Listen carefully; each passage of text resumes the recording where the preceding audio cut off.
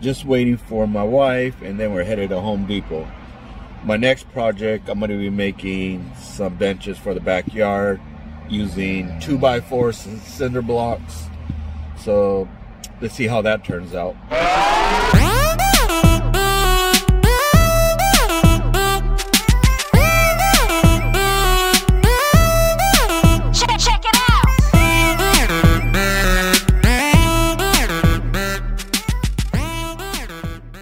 So what I'm doing now is I'm staining these two by fours that I had cut in half and they're gonna go on my cinder blocks.